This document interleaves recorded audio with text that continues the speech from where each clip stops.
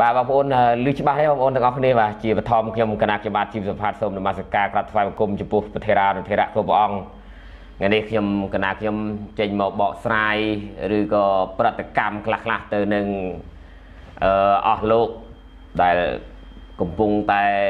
បង្កើតនៅព្រឹត្តិការណ៍មួយដើម្បីឲ្យប្រជាប្រដ្ឋខ្មែរមានការចាប់អារម្មណ៍រឿងអាតងែនមេតងែនណាបងប្អូនបាទប្រហែលជាយល់ហើយ ប្រហែលថ្ងៃហ្នឹងគេល្បីរឿងផ្លែមៀនបាទផ្លែមៀននិងផ្លែតងែនអញ្ចឹងថ្ងៃហ្នឹងយើងចូលរួមអស់គ្នាបាទកណាគុណចាស់គ្រប់អង្គដើម្បីបានសម្ដាប់ដូចតទៅខ្ញុំកណាបានសិលមិញបានលើកឡើងខ្លះហើយពាក់ព័ន្ធទៅនឹងតកែផ្លែមៀនហ្នឹងហើយឥឡូវហ្នឹងគឺកំពុងតែមានការល្បីល្បាញខ្លាំងមែនទែនហើយចុងក្រោយនេះក៏មានបាទ បាទអាមានបញ្ជាឲ្យអាហ៊ីងទិញមាន បាទអាមានបញ្ជាឲ្យអាហ៊ីងបន្តិចទិញមានបាទហ៊ីងក្រោតហ្នឹងគឺការពីមុនបងប្អូនដឹងហើយលោកហ៊ីងមិនហៀងណាលោកហ៊ីងមិនហៀងលើកមុនបានចង់បង្កើតតបវាយអាមេរិកកាលឡើងល្បីល្បាញម្ដងហើយហ៊ីងមិនហៀងឥឡូវហ្នឹងល្បីមកហ៊ីងមិនហៀងអឺជាតកែដែលគេបញ្ជា ដើម្បីឲ្យទិញមានទិញតងែនហ្នឹងបាទឥឡូវហ្នឹងចាប់ផ្ដើមហើយ ហើយយើងមើលហ៊ីងមិនហ៊ីងទូនាទីចេះតែបាញ់បោះសម្លាប់កាប់ចាប់ចងមនុស្សអីចឹងទៅបាទហ្នឹងហ៊ីងមិនហ៊ៀងទូនាទីគឺអឺជាទាហានបាទបាទច្បាស់តើបាទអរគុណច្រើនឥឡូវហ្នឹងហ៊ីងមិនហ៊ៀងគេផ្លាស់ប្ដូរវារបបហ្នឹងវាមិនដឹងជាអាណាធំជាអាណាទេបាទ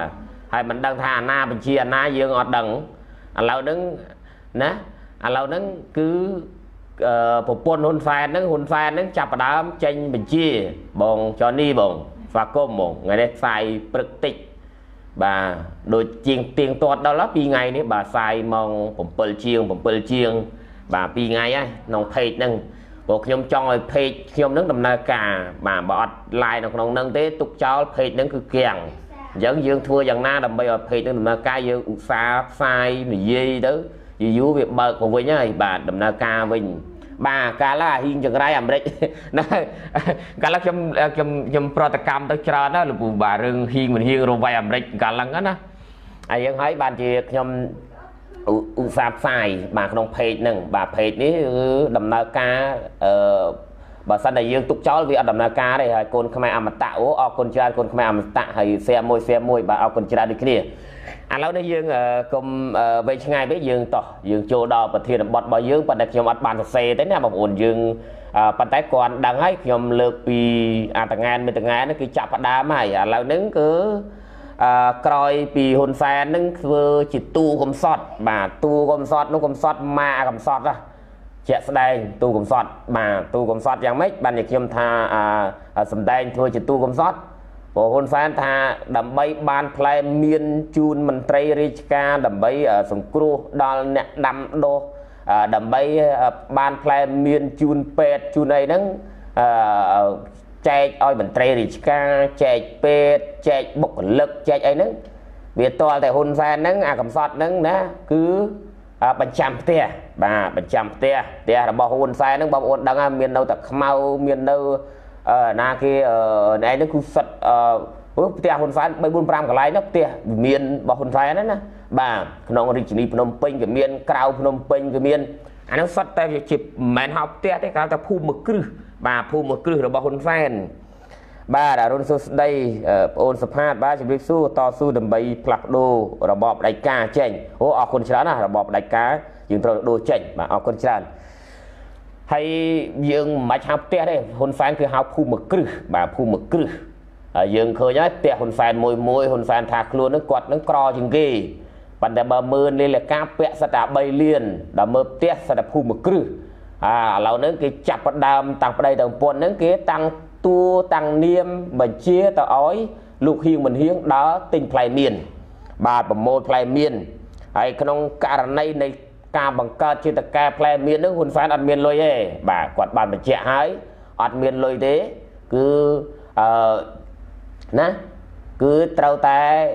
បញ្ចាំផ្ទះដើម្បីយកលុយទៅទិញមៀនបាទហើយប្រជាប្រដ្ឋខ្មែរអភ័ព្វណាស់បងប្អូនណាគឺបានត្រឹមតែចិញ្ចក់ក្របមាន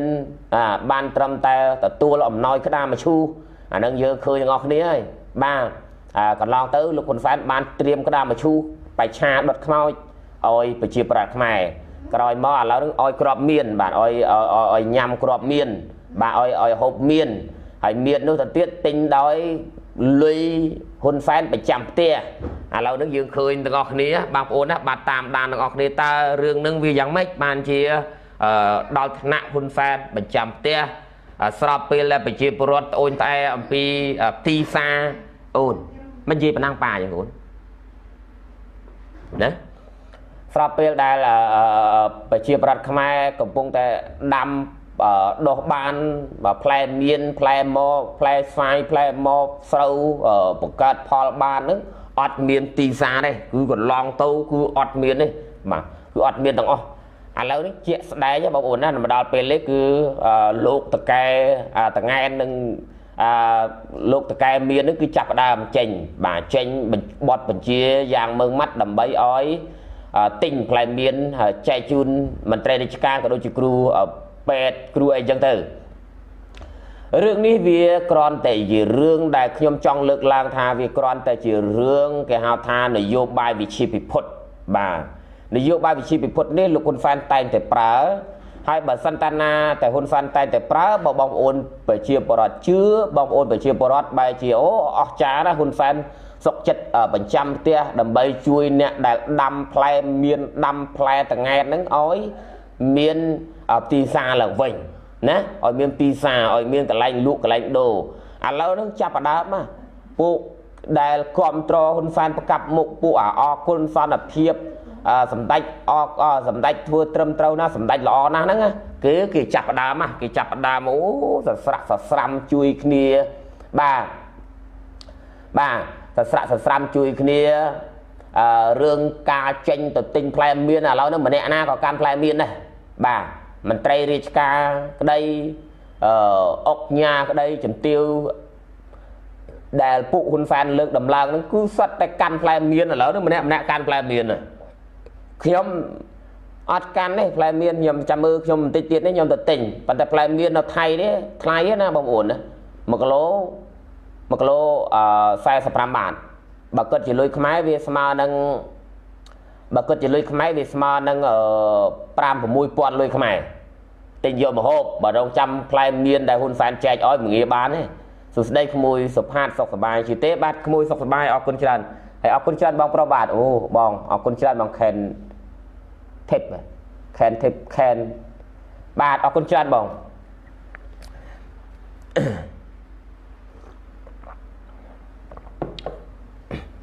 ហេតុអីបាទខ្ញុំលើកបញ្ជាក់មកម្ដងទៀតនេះគឺជានយោបាយបោកប្រាស់ម្ដងមកកាលដើម្បីពំវក់ឬក៏អឺធ្វើឲ្យបរដ្ឋខ្មែរហ្នឹងជឿនឹងការដឹកនាំរបស់គាត់ហ្នឹងថាគាត់ហ្នឹងមានសមត្ថភាព ជាក់ស្ដែងបងប្អូនប្រជាប្រដ្ឋខ្មែរទីផ្សារដែលហ៊ុនសែនបង្កើតដោយខ្លួនឯងវាអត់មានអាយុកាលវែងទេអាយុកាលវែងលុះត្រាណាតែយើងនឹងមានកិច្ចព្រមព្រៀងការនាំចេញនាំចូលរវាងប្រទេសនិងប្រទេសហើយបើយើងមើលប្រទេសកម្ពុជាអត់ទាន់មានរោងចក្រផលិតផ្លែមានឲ្យវាកក្រើក អត់ទាន់មានរោងចក្រផលិតស្វាយឲ្យវាធំដុំហើយយើងឃើញស្វាយពេលផលស្វាយមកគឺស្វាយថោកគ្មានទីផ្សាររហូតដល់ពេលខ្លះឲ្យគូស៊ីអាហ្នឹងយើងឃើញទាំងអស់គ្នាឥឡូវមាននេះដូចគ្នាផ្លែមាននេះដូចគ្នាហ៊ុនសែនបោកលោកស្រីបាទបងស្រីត្រឹមត្រូវបងឥឡូវផ្លែមាននេះដូចគ្នា ហ៊ុនសែនជួយបញ្ចេញលុយហើយឥឡូវហ្នឹងបងប្អូនហ៊ុនសែនមិនបញ្ចាំផ្ទះទេព្រោះគាត់តែហ៊ុនសែនចេញមុខភ្លាមចេញក្បាលមកភ្លាមគឺមន្ត្រីអឺអុកញ៉ាដែលគ្រប់គ្រងដូចលេងលវត្រាអឺម៉ែនសំអនអឺជំទាវមួយចំនួនដែលគ្រប់គ្រងហ៊ុនសែននឹងចាប់ផ្ដើមចេញមុខជួយហ៊ុនសែនណាបរិច្ចាគថវិកា បាទសុផាតខ្មែរគ្មានចំណាប់ការរយអីគេចុងទេមានមានទេបាទអរុនសុស្ដីលោកសុផាតបាច់រីសួរបងមហាគ្រុឌបងសុខសប្បាយបងណាយើងមើលយើងមើលកន្លែងហ្នឹងណាយើងមើលកន្លែងហ្នឹងណាអឺកន្លែងដែលលោកហ៊ុនសែនបានប្រកោសប្រកាសដើម្បីប្រចាំផ្ទះដើម្បីយកលុយទៅទិញផ្លែមៀនហ្នឹងបាទ ទៅទិញផ្លែមៀនហ្នឹងលោកហ៊ុនសែនអត់ចេញលុយទេបងប្អូនគាត់តែនិយាយដើម្បីឲ្យគេឃើញឲ្យគេដឹងឲ្យអុកញ៉ាជំទាវហ្នឹងដឹងទៅចាប់ដើមបរិច្ចាគលុយតែប៉ុណ្្នឹងឯងឥឡូវនឹងយើងឃើញលេខលវត្រាទិញប្រមាណផ្លែមៀនប្រមាណ100តនបាទត្រៀមទិញផ្លែមៀនពីចំការទិញផ្លែមៀនពីកន្លែងដែលសម្បូរទៅដោយភូផលផ្លែមៀនហ្នឹងទិញរាប់រយតោនត្រៀមទិញ ហើយទិញឲ្យលក់ចេញនៅក្នុងតម្លៃស្ទាបដើម្បីខាត់ដើមដាក់ខាត់តុនទៀតអាហ្នឹងសេចក្តីប្រកាសរបស់លេងលវត្រាអាហ្នឹងក៏យើងមើលយោបាយរបស់ហ៊ុនសែនយោបាយហ៊ុនសែនគឺជានុយដើម្បីតាក់ទាញប្រមូលលុយតែប៉ុណ្្នឹងឯងអាហ្នឹងវាជាការពិតដែលខ្ញុំមើលឃើញណាវាជាការពិតដែលខ្ញុំមើលឃើញឥឡូវហ្នឹងយើងឃើញហើយត្រីដាណាត្រីដាណាក៏ចាប់ផ្ដើមចេញសកម្មភាពដើម្បីទិញផ្លែមៀនប្រមូលផ្លែមៀនដូចគ្នា សំបីតែត្រីដាណាហ្នឹងក៏ចោះដល់ចំការដល់អីហ្នឹងថាខ្លួនឯងជាអ្នកចំការមៀនចំការអីហ្នឹងយើងឃើញហ្នឹងហ្នឹងគឺជាល្បិចពួកដែលក្រុមគេរកលុយដើម្បីប្រមូលណាជាក់ស្ដែងបងប្អូនមើលចុះអបាទអ៊ំអ៊ុយសខលវាសួរលោកអ៊ំបងប្អូនយើងអរគ្នាហើយអឺម៉ែនសំអនក្នុងសារម៉ែនសំអនម៉ែនសំអនបានបញ្ជាក់ទៀតបាទបញ្ជាក់ទៀតថាអឺណានឹងជួយ បរិច្ចាគថាវិការទិញផ្លែមៀនជូនមន្ត្រីរាជការហាហ្នឹងផ្លែមៀនហ្នឹងសួរថានៅពេលដែលយើងកូវីដ19ហ្នឹងវាជាតម្រូវការចាំបាច់ទេវាមិនមែនត្រូវការអារឿងផ្លែមៀនផ្លែតង្ហែនហ្នឹងទេអាតង្ហែនមិនតង្ហែនអាហ្នឹងខ្ញុំសុំផ្ដាំទៅអញ្ចឹងប៉ុន្តែតម្រូវការរបស់ប្រជាពលរដ្ឋគឺស្បៀងអាហារអាហារហូបចុកណាប្រចាំថ្ងៃឬក៏ថ្លៃទឹកថ្លៃភ្លើងថ្លៃបង់ធនាគារប៉ុន្តែអានេះក៏ខ្ញុំ បើសិនតែផែនការយុទ្ធសាស្ត្រនេះយូរវង្វេងមែនហ៊ុនសែនសុកចិត្តចំណាយលុយទិញដើម្បីជួយដល់ខាងបងប្អូនដាំផ្លែមានផ្លែតង្កែនហ្នឹងឲ្យមានទីផ្សារយូរវែងមែនអានឹងខ្ញុំគ្រប់គ្រងប៉ុន្តែអ្វីដែលហ៊ុនសែនធ្វើនឹងវាដូចភ្លើងចម្បើងអញ្ចឹងវាមកប្រាវមកប្រាវទៅក្រោយពីនឹងក៏ស្ងាត់បងប្អូនយ៉ាងយូរត្រឹមមួយអាទិត្យទៀតគឺស្ងាត់ទៀតណាបាទ ហើយអាផ្លែមានផ្លែក្រោយក្រោយទុំក្រោយក្រោយនឹងវាចោលទៅទេទេហើយបងប្អូនម្នាក់ម្នាក់ចិត្តចេញបកហ៊ុនសែនអូអនាំគ្នាប្រមូលផ្លែមានដើម្បីលក់តន់ណាដល់ទីបំផុតលោកហ៊ុនសែនលែងទិញអានឹងប្រយ័ត្នខាតបងកន្លែងហ្នឹងហើយវាជាវាជាយុទ្ធសាស្ត្រទេបងប្អូនវាជាយុទ្ធសាស្ត្រជាផែនការប្រមូលលុយពីជំទាវប្រមូលលុយពីអុកញ៉ាទេបងប្អូនចាំមើលបើមិនជឿខ្ញុំអាឥឡូវនេះគូសួរថាប្រពន្ធហ៊ុនសែនក្តី ដែលបញ្ជាទៅហ៊ីងមិនហ៊ៀងឲ្យដល់ទិញផ្លែមានផ្លែតង្កែហ្នឹងសួរថាណាសួរថាសួរថាហ៊ុនសែនបញ្ចេញលុយប្រមាណដើម្បីទិញហ្នឹងណាសួរតាហ៊ុនសែនបញ្ចេញលុយប្រមាណដើម្បីទិញផ្លែមានផ្លែតង្កានហ្នឹងគឺអត់បាទគឺអត់ទេគាត់បានប្រចាំផ្ទះគាត់ថាប្រចាំផ្ទះប៉ុន្តែបើជំទាវ បើជំទាវឬក៏អុកញ៉ាគឺគេបញ្ចេញលុយបាទបញ្ចេញជាសាច់លុយបងដូចលេងវត្តត្រាយបញ្ចេញជាសាច់លុយមកមិនសំអន់ទេបញ្ចេញជាសាច់លុយមកជំទាវមួយចំនួនគឺបញ្ចេញជាសាច់លុយមកអានឹងច្បាស់ទាំងអស់គ្នាអញ្ចឹងរឿងនេះហេតុអីបានជាខ្ញុំថានយោបាយវិជាពិភពនយោបាយវិជាពិភពរបស់ហ៊ុនសែនណានៅពេលដែលប្រជាប្រដ្ឋត្អូញត្អែរឿងការលក់អ្វីមិនចេញប្រជាប្រដ្ឋនាំគ្នាប្រតិកម្មពួកកន្លងទៅយើងឃើញហ่ะពលរដ្ឋខ្មែរនៅ ច្រកឡែមគាត់តូចចិត្តនឹងការនាំតំណែងទៅថៃអត់បានដល់អញ្ចឹងគាត់ចាប់ផ្ដើមមានការរើបំរាស់គាត់ចាប់ផ្ដើមបាតកម្មគាត់ចាប់ផ្ដើមធ្វើយុទ្ធនាការធ្វើយ៉ាងណាដើម្បីឲ្យតំណែងរបស់ខ្មែរបានចូលទឹកដីថៃអាហ្នឹងក៏នឹងយើងឃើញព្រឹត្តិការណ៍ហ្នឹង អញ្ចឹងបានជាលោកហ៊ុនសែនមកបង្កើតព្រឹត្តិការណ៍មួយគេហៅថាប្រមូលទិញផ្លែមៀនពីចំការឬក៏ពីអ្នកដាំនៅប្រទេសកម្ពុជាដូចជាប៉ៃលិនបាត់ដំបងពូសัตว์អីជាដើមហ្នឹងអាហ្នឹងឃើញឃើញក្រោយពីហ្នឹងឯងបងប្អូនអានេះគឺសោបញ្ជាក់យ៉ាងច្បាស់ថានយោបាយវិជាពិភពខ្លាចប្រជាពលរដ្ឋដែលដាំភោគផលបានរហូតដល់ពេលខ្លះដូចនៅបាត់ដំបងអីដំណាំអីគឺជូជួចោលហ្នឹង ហើយនៅពេលដែលព្យួរចោលចតចតណាក់ដែលព្យួរចោលជួលចតណាក់ដែលបំផ្លាញដំណាំខ្លួនឯងដែលគ្មានទីផ្សារហ្នឹងថាពួកគាត់នឹងកំពុងតែបំផ្លាញមុខមាត់ដល់ក្រសួងអីជាដើមហ្នឹងហើយពួកហ្នឹងអាហ្នឹងគឺវាធ្វើការដើម្បីតែមុខមាត់ទេពួកអាក្រសួងអីជាដើមហ្នឹងឥឡូវហ្នឹងមកដល់ពេលហ្នឹងយើងឃើញហើយណាពលរដ្ឋតាមបន្ទាត់ព្រំដែនមានការប្រតិកម្មទៅនឹងអឺ ការគ្រប់គ្រងរបស់អាជ្ញាធរតាមបន្ទាត់ព្រំដែនថាហេតុអ្វីបានជាតំណែងរបស់ថៃចូលមកខ្មែរបានតំណែងខ្មែរមិនចូលទៅថៃបានអាហ្នឹងកន្លែងហ្នឹងដល់តែពេលពលរដ្ឋដាក់សំណួរសួរអញ្ចឹងទៅសរសេរលើកបណ្ដាលើកផ្លាកអញ្ចឹងទៅសួស្ដីបងអូនបាទជំរាបសួរបងបាទបាទបងអូបងណាគេបងភាព បងតាំងរូបខ្មៅងឹតងឹតបងអូនអត់ស្គាល់ទេបងណា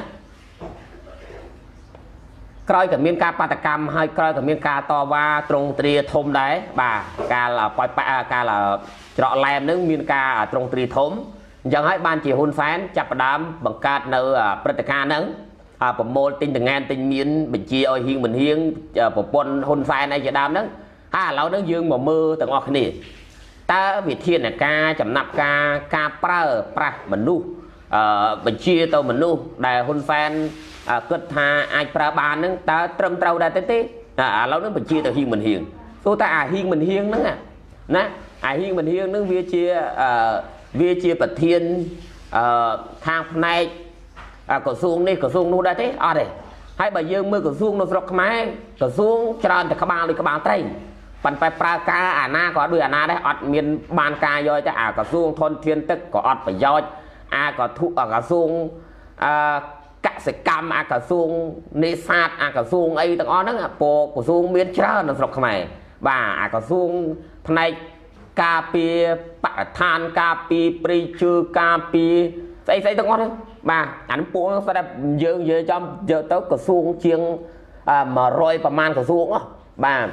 ហើយការលោកបណ្ឌិតកែមលីនៅរស់រៀនមានជីវិតលោកបណ្ឌិតកែមលីថាស្រុកខ្មែរក្រសួងច្រើនណាបើសិនតែមានការដឹកនាំក្រោយទៀតកាត់បន្ថយក្រសួងនោះព្រោះក្រសួងហ្នឹងចាយលុយច្រើនបាទក្រសួងនឹងចាយលុយច្រើនចាយលុយបំផ្លាញនៅកញ្ចប់ថវិកាជាតិច្រើនណានិយាយរឿងក្រសួងហ្នឹងហើយឥឡូវហ្នឹងក៏ដូចគ្នាដែរក្រសួងដែលហ៊ុនសែនបង្កើតជាបន្តបន្ទាប់សំបីតែអាស្អីគេសួងសេរីរដ្ឋាហ្នឹងអាហ្នឹងក៏ជាជាក្រសួងមួយដែរ បាទធ្វើជាអាស្ថាប័នក្រសួងមួយដែរបាទសួនសេរីរដ្ឋាបងប្អូនស្គាល់ទេស្គាល់សួនសេរីរដ្ឋាទេហ្នឹងហើយប៉ុន្តែពួកអាហ្នឹងវាច្រើនតែក្បាលដូចក្បាលត្រីវាអត់ប្រយោជន៍ដូចទៅនឹងឧត្តមក្រុមប្រឹក្សាគូក្រលនឹងពីគ្រោះនឹងផ្ដល់យោបល់អឺលោកហ៊ុនសែនអញ្ចឹងណាក្រោយពីបលែបឡំបោះឆ្នោតកាលពី2018ក្រោយមកក៏ចេញជា ណាចេញជាចេញជាឧត្តមក្រុមប្រឹក្សាគូក្រលពីគ្រោះនឹងផ្ដល់យោបល់ដែលមានពេជ្រស្រស់មានម៉មសំងដូមានវិលៀមហ្គមមានអឺមួយចំនួនទៀតបាទមួយចំនួនទៀតវាកើតជាឧត្តមក្រុមប្រឹក្សាគូក្រលនឹងពីគ្រោះនឹងផ្ដល់យោបល់ព្រោះណាហ្នឹងហើយហើយទីបំផុតទៅសួរថាអាអាឧត្តមក្រុមសិក្សាពីគ្រោះនឹងផ្ដល់យោបល់ហ្នឹងវាបានប្រយោជន៍ស្អីពួកអាហ្នឹងចាយទៅលុយអត់ប្រយោជន៍ណា ណាខ្លាយជាអុកឧត្តមអើខ្លាយជាអេកឧត្តមហើយបើនិយាយទៅអាចឧត្តមទេបាទណាខ្លាយទៅជាអេកឧត្តមខ្លាយជាទៅជាជំទាវខ្លាយទៅជាអុកញ៉ាតែពួកអាហ្នឹងខ្លាយជាទីប្រឹក្សាពីគ្រោះនឹងផ្ដល់យោបល់សួរតែមកដល់មកហ្នឹងវាធ្វើស្អីណាដែលវាចាយកញ្ចប់ថាវិការជាតិមួយឆ្នាំមួយឆ្នាំអស់រាប់ពាន់លានណាមួយឆ្នាំមួយឆ្នាំអស់រាប់ពាន់លានណាបាទជម្រាបសួរបងស្រីបងបាទសួស្ដីអូនបាទជម្រាបសួរបងសុខសប្បាយបង ហ្នឹងហើយរាត្រីអរុនសុស្ដីបងខាងបងរាត្រីសុស្ដីខាងប្អូនអរុនសុស្ដីនៅប្រទេសថៃបងមិញភ្លៀងខ្លាំងបងនៅថៃនេះភ្លៀងមែនទែនបាទភ្លៀងឥឡូវនេះស្ងាត់ភ្លៀងមិញងើបមកភ្លៀងផ្អើលភ្លៀងគូលន់បាទនៅឃើញតែ lie ទៅអត់មានសេវាទេដឹងហ្នឹងហើយយើងមើលឥឡូវយើងត្រឡប់ទៅទៀតយើងមើលណាអាក្រសួងនឹងហាក់បីដូចជាធីបទុកចោលទៅទេបាទធីបទុកចោលទៅទេឥឡូវហ្នឹងបែងទៅប្រើប្រើប្រើប្រើហ៊ីមិនហៀងហើយហ៊ីមិនហៀងហ្នឹងបានតែកាន់កំភ្លើងហ្នឹង បានតែបញ្ជាកងទ័ពហ្នឹងបានតែបាញ់បោះសម្លាប់មនុស្សហ្នឹងហើយហេតុអីទៅប្រើហ៊ីមិនហៀងពូនសែនឥឡូវហ្នឹងអត់ទុកចិត្តណាទេបាទអត់ទុកចិត្តណាហើយបើអត់ទុកចិត្តណាអញ្ចឹងធ្វើកិច្ចការអីក៏ឥឡូវហ្នឹងយើងឃើញកូនហ៊ុនសែនពប្រពន្ធហ៊ុនសែនកូនប្រសាកូនប្រសាទកូនប្រកាសឥឡូវហ្នឹងនៅពេលដែលរដូវកាលកូវីដទុះកាន់តែខ្លាំង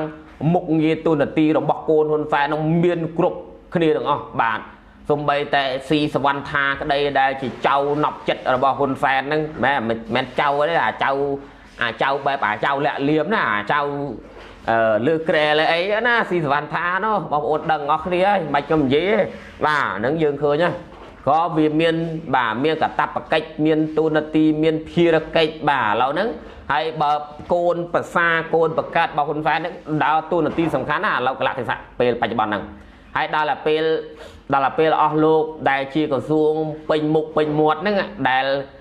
បានកំណត់ត្រាទុកអស់លោកបានទទួលបានប្រាក់ខែពីប្រជាពលរដ្ឋបើកប្រាក់ខែរាល់ថ្ងៃហ្នឹងសួរថាអស់លោកធ្វើអីខ្ញុំសួរអស់លោកណាហ៎ហើយហេតុអីបានជាហ៊ុនសែនទៅប្រាអាណផ្សេងហើយរឿងផ្លែមានគ្មានទីសាហេតុអីមិនបញ្ជាថាមិនជួយរកទីសាអាហ្នឹងហើយដែលខ្ញុំនិយាយថា លោកហ៊ុនសែនដឹកនាំដែលហ៊ុនសែនក៏សារភាពខ្លួនឯងដែរថាដឹកនាំតាមបែបអារម្មណ៍តាមបែបរវីរវើណាសម័យសម័យពុតប្រកាសពលលោកហ៊ុនសែនឥឡូវហ្នឹងគឺយើងឃើញហ្នឹងបាទសួស្ដីមិត្តភ័ក្តិរួមឈីមបាទសួស្ដីសួស្ដីបងសុខសុខសប្បាយជាទេបាទអរគុណជួយសុខដែរបាទអ៊ីងមុនរៀងទទួលផ្នែកកសិកម្មតាំងពីស្មើម៉ានបងខ្ញុំអត់ដឹងហ្នឹងហើយ វាអញ្ចឹងតែប្រអត់ដឹងដូចគ្នាហ្នឹងហើយបានតែនិយាយមកបាទហ៊ីងមិនហៀងណាហើយហ៊ីងមិនហៀងទទួលសញ្ញាបត្រសញ្ញាបត្រសរសើរខាងបាញ់សម្រាប់មនុស្សអាហ្នឹងហ៊ីងមិនហៀងបាទហ៊ីងមិនហៀងទទួលបានសញ្ញាបត្របានសរសើរខាងបាញ់សម្រាប់មនុស្សខាងបង្ក្រាបណាយើងដឹងហើយបន្ទាតួកសាំងទូលអីហ្នឹងហើយអឺដូចជាអង្ការផ្លូវវែងស្រេងហ្នឹងដូចចាប្រាក់ក្តីដូចអីតិចហ្នឹងគេយកចាប្រាក់ក្តីគេយកអីហ្នឹងយកមកប្រើបាទយកមកប្រើដើម្បី ជាផ្លូវការសម្រាប់ហ៊ុនសែនបញ្ជាថាឯងទៅទិញមានឯងទៅទិញផ្លែតងានបើឯងអត់ទៅទិញទេរឿងធំជាមួយឯងហ្នឹងអាហ្នឹងគឺអញ្ចឹងហើយហើយលោកហ៊ុនសែនចាប់ដើមបាទចាប់ដើមបញ្ជាពួកហ្នឹងឥឡូវហ្នឹងកងកម្លាំងទាហានហ្នឹងងប់បោះចេញឡានដល់ដឹកមានដឹកតងានបាទឥឡូវហ្នឹងយើងឃើញណាមកទទួលពលករនៅព្រំដែនក៏ជាទាហានទៅទិញផ្លែមានផ្លែតងានក៏ជាទាហាន ធ្វើធ្វើពេទ្យជួមុខក៏ជាទាហានឥឡូវទាហានទូនាទីច្រើនណាស់បាទបើនិយាយរឿងទាហាន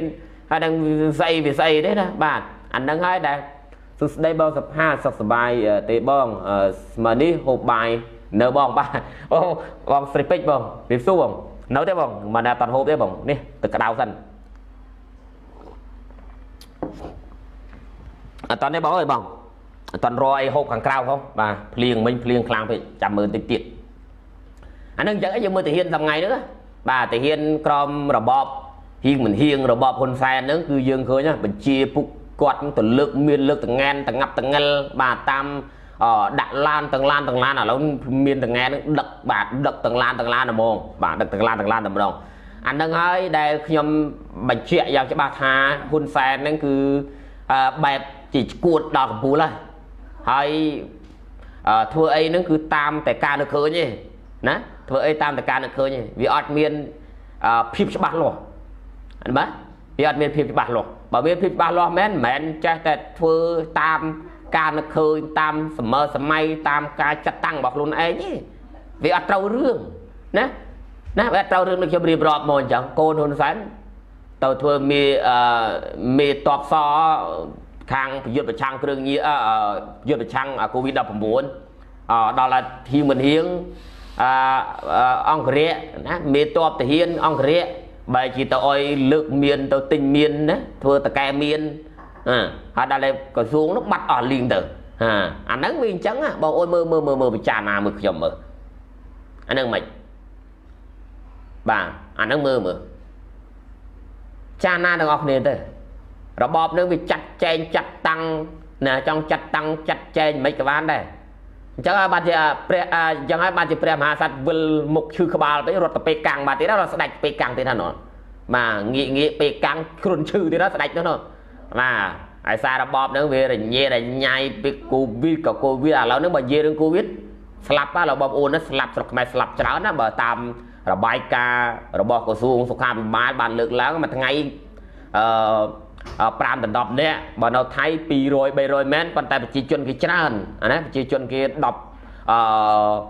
60ទៅ70លាននាក់ប្រជាជនខ្មែរឯង16លាននាក់លេងស្លាប់ម្ដង20ម្ដង30ម្ដង5ដល់10អស់ហើយបងប្អូនបាទបាទម្ដង20ម្ដង30អស់ហើយអាហ្នឹងយើងមើលឃើញណាយើងមើលឃើញកន្លែងហ្នឹងគឺជាបញ្ហាដែលប្រទេសកម្ពុជាកំពុងតែប្រឈមហើយបើមេដឹកនាំហ្នឹងកំពុងតែ បែរជាទលេងរឿងដណ្ដើមទូនាទីមុខងារខាងក្រសួងទៅវិញណាណាបាទដណ្ដើមមុខដណ្ដើមហើយមានអីទៀតណាអត់ពលរដ្ឋអត់មានពីផ្សារលក់ផ្លែមានផ្លែតង៉ែនហ៊ុនសែនចាប់ផ្ដើមបញ្ចេញលុយទិញផ្លែមានផ្លែតង៉ែនអាហ្នឹងគឺគេហៅថា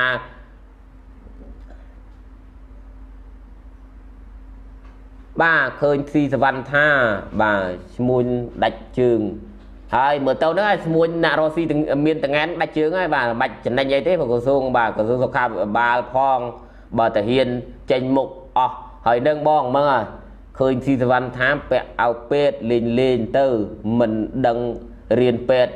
ពីអង្កាលហ្នឹងហើយបាទហ្នឹងអានេះគេហៅថាពេទ្យស្ម័គ្រចិត្តតាមខ្សែតាមបពុខ្សែបលាយគេណាគេគាត់ទៅថតពួកអាពេទ្យអញ្ចឹងហើយបាទជាពលរដ្ឋខ្មែរនៅមានតែស្លាប់នៅបងប្អូន ដោយសារតែពេទ្យគ្មានជំនាញពេទ្យគ្មានវិជ្ជាជីវៈពេទ្យមិនដែលបានរៀនហ្នឹងហើយបានជាពលរដ្ឋខ្មែរមកដល់ម៉ោងនេះយើងដឹងហើយស្លាប់ប្រមាណក្នុងមួយថ្ងៃ15នាក់ហើយបើសិនតែគុណក្នុងមួយថ្ងៃ15នាក់ស្មើបងប្អូនបូករងថ្ងៃពលរដ្ឋខ្មែរយើង16លាននាក់អស់ហ្មងផាត់ថៃបងស្រីបងណាអស់បងប្អូនអស់15 15 20នាក់15 20នាក់រងថ្ងៃហើយពលរដ្ឋខ្មែរ16លាននាក់អស់ណា កន្លែងនេះគឺព្រួយបារម្ភខ្ញុំមានការព្រួយបារម្ភហើយស្លាប់ដោយសារអាអាកូវីដផងគ្រោះថ្នាក់ចរាចរណ៍បើគ្រោះថ្នាក់ចរាចរណ៍យើងលែងនិយាយហ្មងបាទមួយឆ្នាំមួយឆ្នាំសរុបទៅរាប់ពាន់នាក់ណាគ្រោះថ្នាក់ចរាចរណ៍អានឹងស្រុកខ្មែរយើងបាទចុះបើផ្លូវធ្វើដូចផ្លូវកដោអញ្ចឹងណាអាទៅក៏ទៅអាមកក៏មកនៅនឹងឯងវិលក្បងនៅនឹងឯងអានឹងយើងយើងឃើញទាំងអស់គ្នាស្លាប់ពលរដ្ឋខ្មែរយើងមានតែបន្តការស្លាប់អញ្ចឹងជាបន្តបន្ត សំណោះជីវិតខ្មែរណាហ្នឹងហើយបងបាទឥឡូវយើងមើលទាំងអស់គ្នាណាយើងមើលទាំងអស់គ្នាឥឡូវនេះមានខ្ញុំមានព័ត៌មានមួយទៀតខ្ញុំមានព័ត៌មានតាក់ទិននឹងតងាននឹងមានដែរបាទខ្ញុំមានបាទនេះខ្ញុំមានព័ត៌មានមួយតាក់ទិនទៅនឹងតងាននឹងមានដូចគ្នាអឺតងាននឹងមាននេះគឺឥឡូវនេះ ឃើញ fresh you ចុះផ្សាយហើយបាទចុះផ្សាយថាក្រោយពីហ៊ុនសែនចាប់ដើមទិញអីទិញទៅរួចហើយនឹងនេះឃើញទេនេះចាប់ដើមកុហកទៀតហើយនេះបាទជំរាបសួរសុផាតបាទបាទសុផាតបាទហ្នឹងហើយក្រោយពីហ៊ុនសែនចេញសេចក្តីប្រកាសនឹងក្រមអឺប្រពន្ធហ៊ុនសែនក្តីគឺចាប់ដើម សួស្តីសុផាតបាទជំរាបសួរណាមីងបាទគឺអឺចាប់ផ្ដើមចេះបងប្អូនក្រោយពីទិញមានទូតាំងប្រទេសរួចឥឡូវហ្នឹងខាង Fresh New គេចុះផ្សាយអឺមន្ត្រីជាន់ខ្ពស់កសិកម្មអ្នកដាំមាននៅកម្ពុជាអាចមានសង្ឃឹមគេនិយាយពីភាសាអាចណាបាទនិយាយភាសាអាចមានសង្ឃឹមជាថ្មីនាំចេញទៅថៃឡើងវិញបន្ទាប់ពីចិនសម្រេចឲ្យ ក្រុមហ៊ុនថៃចំនួនបាទអឺ56អាចនាំចូលមានទៅចិនបានយើងឃើញទេវាចេះតែនឹកឃើញវាចេះតែនិយាយវាចេះតែយកមកចុះផ្សាយទៅបាទវាចេះតែនឹកឃើញវាចេះតែនិយាយចេះយកមកចុះផ្សាយទៅថាអឺ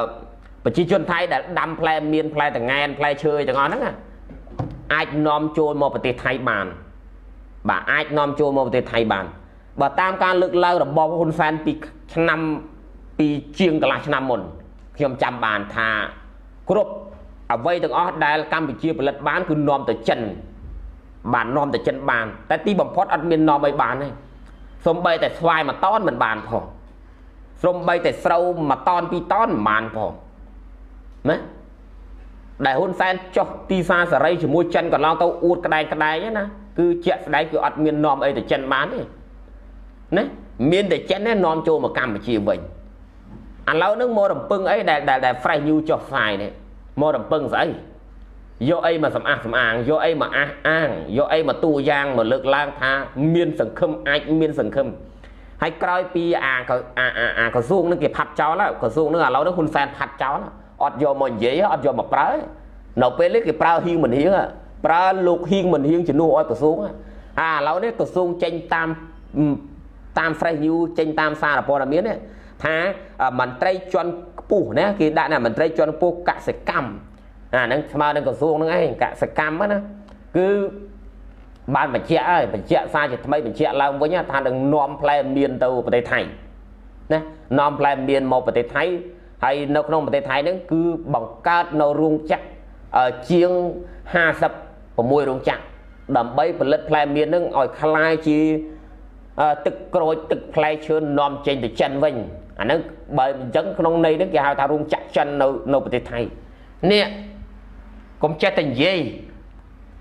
ណាកុំចេះតែនិយាយនៅប្រទេសថៃបើអ្នកដែលមិនដែលបានមកថៃអានឹងគេជឿពួកអាក្រសួងនឹងខ្លះជឿពួកអាកសកម្មនឹងខ្លះជឿពួកអាមន្ត្រីជាន់ខ្ពស់ខាងផ្នែកកសកសកកសកម្មនឹងខ្លះ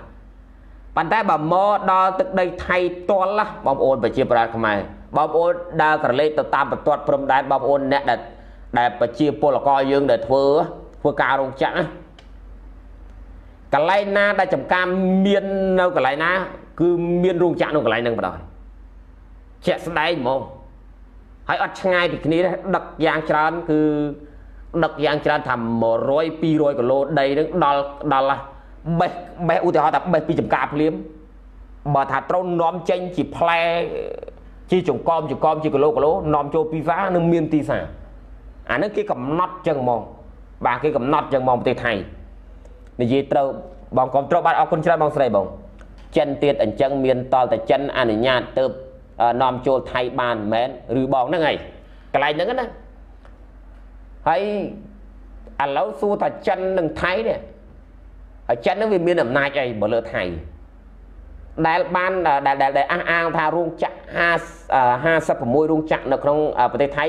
គឺជារបស់ចិនហើយចិនអនុញ្ញាតឲ្យថៃជួយនាំផ្លែមៀនពីកម្ពុជា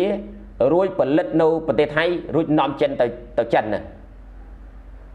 ពួកអានេះវាចិត្តនិយាយទេបងប្អូនបើចិត្តនិយាយអាសភាក៏ចិត្តនិយាយបានដែរបើអស់លោកអត់មានអីជាសម្អាតសម្អាងអស់លោកមានអត់មានអីជា ជាតួយ៉ាងជាឧទាហរណ៍លើកឡើងឲ្យប្រជាប្រដ្ឋជឿហើយនិយាយចំទៅប្រជាប្រដ្ឋលែងជឿហើយវាជាប់តែជាក់ស្ដែងជាក់ស្ដែងមកយ៉ាងម៉េចជាក់ស្ដែងនឹងលុះត្រាតែប្រមូលផ្លែស្វាយមកស្វាយលក់កើតណាលក់ចេញប្រមូលស្រូវមកស្រូវលក់បានថ្លៃប្រមូលផ្លែមានផ្លែតងែនមកលក់បានថ្លៃអានឹងបានពលរដ្ឋបានបានជឿឥឡូវមកនិយាយស្អីមកនិយាយស្អី ដូចខ្ញុំលើកឧទាហរណ៍មិញអញ្ចឹងប្រទេសថៃប្រទេសថៃបើខ្ញុំនិយាយពីផ្លែមាននៅក្នុងប្រទេសផ្លែផ្លែមានផ្លែតងែន1គីឡូ45បាតបើគិតជាលុយខ្មែរវា5 6000លុយខ្មែរណាហើយប្រជាប្រដ្ឋគេអាចខ្លាយជាអ្នកមានបានដោយសារអីដោយសារតែដាំផ្លែមានផ្លែមានថ្លៃដាំស្រូវបានស្រូវថ្លៃ តែមើលផ្ទះ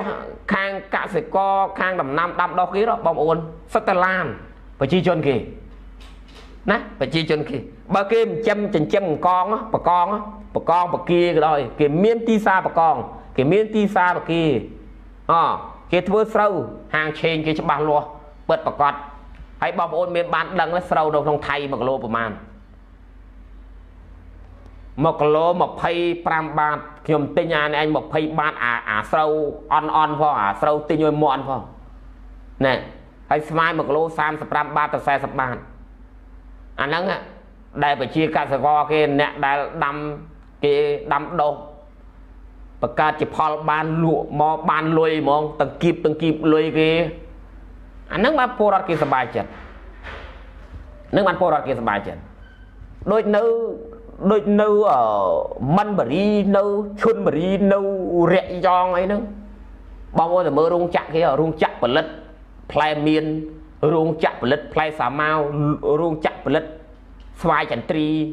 រោងចក្រផលិតនិយាយចំឲ្យតែផ្លែឈើដែលដាំបានមកអត់និយាយពីការខូចខាតទេអត់មាននិយាយអំពីការខូចខាតទេហើយពលរដ្ឋគេអត់និយាយអំពីអត់មានទីផ្សារទេឲ្យតែដាំបានណា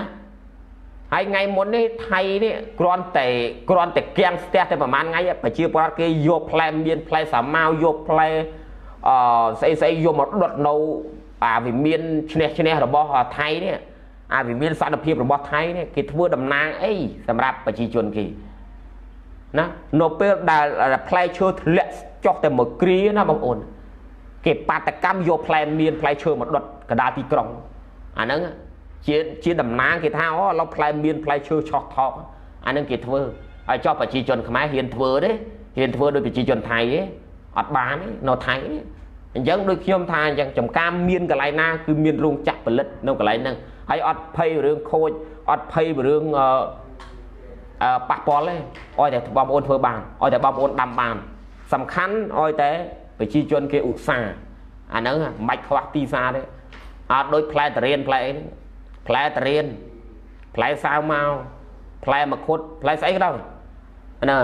គេនាំមកអាមេរិកអូនហ្នឹងហើយបងជាកាប់ពិតបងអាហ្នឹងគេមានចេះបងស្រី តាមដែលខ្ញុំធ្លាប់មិត្តភ័ក្ដិខ្ញុំធ្លាប់បេះផ្លែឈើផ្លែតងានផ្លែមានអីទាំងអស់ហ្នឹងណាគឺទី1គេមានតម្រូវការឥឡូវហ្នឹងតម្រូវការត្រូវចូលទីផ្សារប្រមាណទីផ្សារនាំទៅសហគមន៍អឺរ៉ុបនាំទៅអាមេរិកប្រមាណតោន ប្រមាណលានតោនអានឹងគេនាំជាចកមចកមជាអីគេគេមានការដាក់ឡាំងដាក់អីត្រឹមត្រូវបាននាំចេញទៅតែម្ដងដឹកទៅទាំងយន្តហោះយន្តហោះនាំចេញទៅបណ្ដាប្រទេសផ្សេងផ្សេងអានឹងវាជាផ្លែឈើសុតសុតហ្មងអានឹងគេនាំចេញអានឹងតម្រូវការគេត្រូវប៉ុណ្ណេះប៉ុណ្ណេះទៅអក្រៅពីនឹងគេអត់ឲ្យខូចទេ គឺមានរោងចក្រផលិត យើងឃើញអាការរោងចក្រជាផលិតហ្នឹងគេរៀបចំជាកំប៉ុងកំប៉ុងវិញអញ្ចឹងទៅអានឹងសុទ្ធតែខ្មែរយើងធ្វើតាពលកយើងនៅមកថៃហ្នឹងធ្វើអាហ្នឹងតាបងប្អូនធ្វើអាហ្នឹងហើយដូចនៅដូចនៅដូចនៅខាងអយុធ្យាខាងអយុធ្យាខ្មែរយើងលីអង្គទូលអង្គគឺរោងចក្រអង្គទាំងអស់នាំចូលទៅទឹកដីអយុធ្យាទាំងអស់អង្គស្រូវនាំចេញទៅអយុធ្យាទាំងអស់អានឹងរោងចក្រខាង ធ្វើអង្គផលិតអង្គធ្វើយ៉ាងណាឲ្យអង្គនឹងស្អាតដើម្បីនាំចូលទៅចិននាំចូលទៅជប៉ុននាំចូលទៅបណ្ដាប្រទេសផ្សេងៗអានឹងនៅអយុធយាហើយខ្មែរយើងនៅនឹងទាំងអស់អរោងចក្រឆ្កសគឺនៅអយុធយាហ្នឹងគឺរោងចក្រឆ្កសបាទដឹកកំពៅដឹកអីហ្នឹងគឺផលិតឆ្កសបានគឺកក្រឹកក្រិចហើយខ្មែរយើងនៅនឹងដែរខ្មែរយើងអ្នកធ្វើដែរឆ្អែតអានេះសុខភាព សផាតធ្វើឆ្អែតហើយអរោងចក្រជីរោងចក្រអឺស្អីគេកាហ្វេរោងចក្រកាហ្វេបាទរោងចក្រស្ករសចង់ចក្រកាហ្វេធ្វើបងប្អូនតើមើលសិតតែខ្មែរអត់មានជនជាតិណាធ្វើទេអើបើមានមានជនជាតិឡាវជនជាតិព្រមាអញ្ចឹងទៅក្រៅមកនេះសិតតែខ្មែរយើងលីជីលីឆ្កលីកាហ្វេនៅហ្នឹង សិតតារោងចក្រធំធំបាទអាហ្នឹងហើយណាអាហ្នឹងដែលច្បាស់អាហ្នឹងមកគេទីផ្សារច្បាស់មិនមែនទីផ្សារអាឡែលើដូចឡានអាលុបលេខដូចអាតងែនមានតងែននៅស្រុកខ្មែរទេនិយាយគ្នាច្បាស់នៅទីនេះផ្លែឈើផ្លែឈើបន្លែអង្គគ្រឿងគ្រប់មុខហ្នឹងហើយណាមីងបាទបាទយកច្រើនណាស់ហើយគុណភាពល្អជួមុខទៀត យើងនិយាយការពិតបាទហ្នឹងណាមីងបាទបាទសិតតែយកពីថៃទាំងអស់ហ្នឹងហើយណាមីងជាការពិតណាមីងពលពលករយើងណាមីងពលករយើងគឺធ្វើអាហ្នឹងបាទពលករយើងណាទៅបានធ្វើក្នុង office ក្នុងសវេនក្នុងអឺអឺស្ថាគីលំដាប់លំដាប់ហ្នឹងអត់មានទេគឺទឹកតែខ្មែរយើងធ្វើទាំងអស់បាទធ្វើជាកំប៉ុងក្តីលក់បោះចេញជាដុំជាដុំក្តីឡាំងកឹបឡាំងតែខ្មែរយើងទាំងអស់ នេះមកសួរសភានេះអាសភាណាដឹងហើយឥឡូវនេះយើងបកទៅអាក្រសួងហ្នឹងអាមន្ត្រីជាន់ពោះរបស់ក្រសួងឥឡូវអាមន្ត្រីណាឥឡូវអាមន្ត្រីណាអស់លោកដែលចេញមកបកស្រាយថានឹងមានសង្ឃឹមនេះអាចមានសង្ឃឹមនេះអាចនឹងវាអាចឬក៏អាចខ្ញុំមិនចង់សួរអញ្ចេះអាចឬក៏អាចណាពួកអាអាមន្ត្រីជាន់ពោះកសិកម្មស្អីនេះនេះនេះនេះនេះ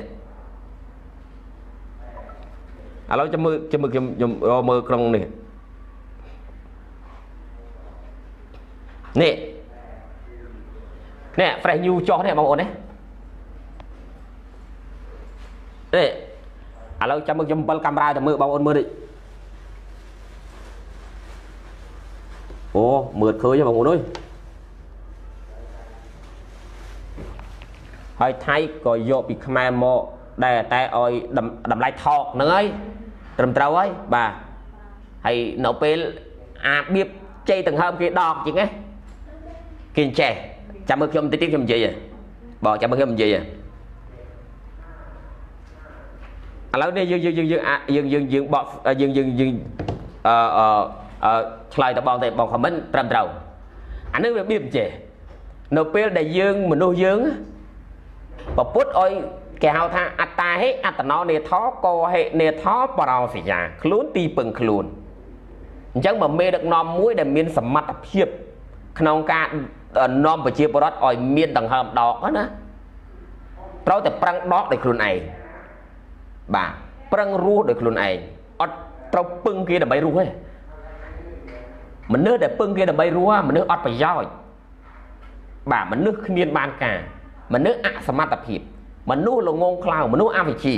ដែលពឹងគេដើម្បីរស់ឥឡូវនឹងយើងជ័យដង្ហើមគេដកណាសុំចំោះគេដក ឥឡូវយើងមើលមើលយើងមើលមើលចុះឧទាហរណ៍នៅពេលដែលថៃគេដាំបានច្រើនរដូវកាលឯគេប្រមូលដែរដាំបានច្រើនផ្លែឈើដាំមកច្រើនពលរដ្ឋគេដាំបានចំមួយឆ្នាំដាំបានពេលលើគេចាប់ផ្ដើមថាអូឥឡូវផ្លែស្វាយគេច្រើនណាស់នៅថៃអូផ្លែមៀនគេច្រើនណាស់នៅថៃផ្លែតងែនគេច្រើនណាស់នៅថៃគេចាប់ដើមបិទ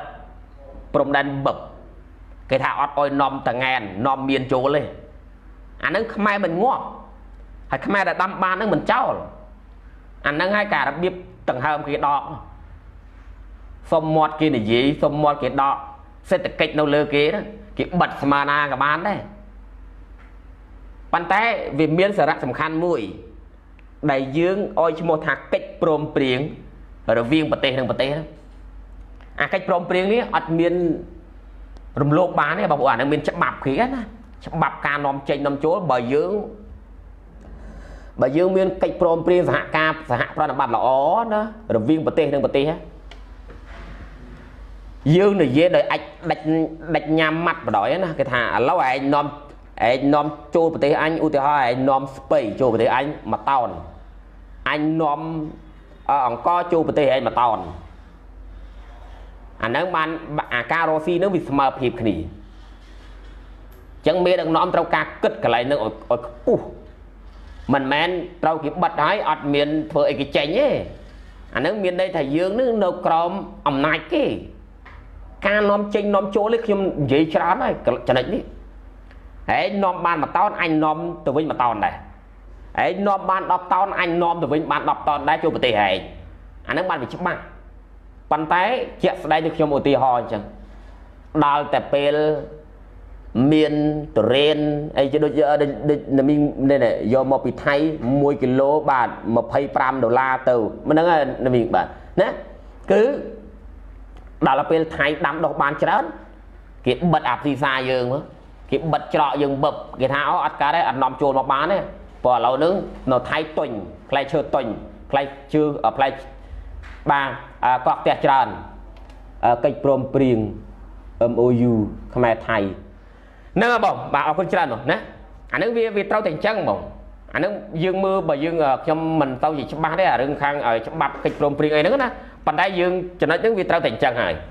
កន្លែងហ្នឹងគឺនៅពេលដែលយើងអត់មានអតិពលអីមកលើថៃថៃគេចាប់ដើមអញ្ចឹងហើយគេថានៅថៃកក់ផ្ទះច្រើនណាផ្លែឈើអ ឥឡូវនឹងផ្លែឈើវាអត់មាននាំចេញតាណាបានទេឥឡូវខ្មែរខាងខ្មែរកំអាបញ្ជូនមកខាងខ្មែរកំអាដឹកមកពេលហ្នឹងខាងខ្មែរយើងតាំងតនតាំងតនចាក់ចោលអានឹងវាអញ្ចឹងស្វាយចាក់ចោលមានចាក់ចោលស្អីក៏ដោយចាក់ចោលហើយស្របពេលដែលកម្ពុជាអត់មានអារងចាក់ផលិតដូចថៃទៀតអំបិលបណ្ដោយកសិករយំស្វាបណ្ដោយយំលេងចែងបណ្ដោយអ្នកដែលដាំហើយអ្នកដាំមួយមួយសិតតែមានកម្មករជួល អ្នកខ្លះ100 200អ្នកកម្មករដាំដើម្បីប្រមូលហើយផ្លែឈើរាប់សិបតនទៅទៅណាអញ្ចឹងហើយបានជាអុកញ៉ាមួយចំនួនត្អូញតែហ្នឹងមានអុកញ៉ាខ្លះស្អប់ហ៊ុនសែនដូចតែគ្នាហ្នឹងណាអ្នកដែលដាំផ្លែឈើដាំឲ្យខ្លាំងខ្លាំងហ្នឹងណាស្អប់ហ៊ុនសែនដូចតែគ្នាហ្នឹងប៉ុន្តែគេមិននិយាយអាហ្នឹងវាអញ្ចឹងហើយដល់ទៅពេលអញ្ចឹងទៅមានអី អ្នកដែលដាំដោះហ្នឹងបងប្អូនអ្នកដែលដាំរំពឹងទៅលើផលដែលប្រមូលហ្នឹងប្រមូលទិន្នផលហ្នឹងយំស្មាបដ ாய் យំអត់ចេញទេបាទស្រក់ទឹកភ្នែកយំអត់ចេញទេអាហ្នឹងវាអញ្ចឹងអាហ្នឹងហើយរបៀបជ័យដង្ហើមគេដោះឥឡូវហ្នឹងមកអួតទៀតណាណាអាហ្នឹងយើងអញ្ចឹងហើយគេឲ្យបើសិនតែលក់ចូលមកបានគេហៅថាឲ្យនៅក្នុងម្លាយថោកអាយើងធ្លាប់នាំចេញមកប្រហែលឧទាហរណ៍1គីឡូមានមាន1គីឡូ1500អញ្ចឹងទៅ1500លុយខ្មែរ បាទដល់តែពេលហ្នឹងគេឲ្យតែ500លុយខ្មែរហើយដល់យើងអត់អីយើងចេះតែលក់ឲ្យគេទៅអានឹងហើយគេហៅថាទីសានៅលើមាត់គេនោះយើងវាអត់មានកិច្ចព្រមព្រៀងច្បាស់លាស់អាមេដឹកនាំខ្លួនឯងកំសោយគឺមានកំណើតទៀតទៅទៀតនោះណា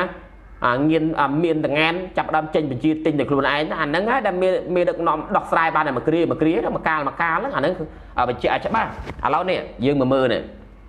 យើងមកមើលនេះយើងមកអាននេះ ឲ្យច្បាស់ណានេះយើងមើលឃើញទេគឺគេចុះផ្សាយនេះព្រមព្រេតនេះបាទចុះផ្សាយហើយមន្ត្រីជាន់ខ្ពស់កសិកម្មអ្នកនាំមាននៅកម្ពុជាអាចមានសង្ឃឹមជាថ្មីនាំចេញទៅថៃឡើងវិញ បន្ទាប់ពីចិនសម្រេចឲ្យក្រុមហ៊ុនថៃចំនួន56អាចនាំចូលមានខ្ញុំចង់ទៅឲ្យផេះឲ្យអាចទេមែន ឮចេញចេះអីមកដាក់ចេះមកចង់ទៅឲ្យផេះឲ្យអាចទេអស់លោកនេះនោះវាគ្មានបានការស្អីទេអះអាងពីមួយថ្ងៃទៅមួយថ្ងៃវាអត់ប្រយោជន៍ណាណាអះអាងពីមួយថ្ងៃទៅមួយថ្ងៃអត់ប្រយោជន៍វាគ្មានបានកំណត់ស្អីទេបងប្អូនអើយជឿវាទៅជឿវាទៅចាប់ចប់បាទជឿពួកអាក្រសួងអត់ទេទៅឆាប់ចប់ឆាប់ចប់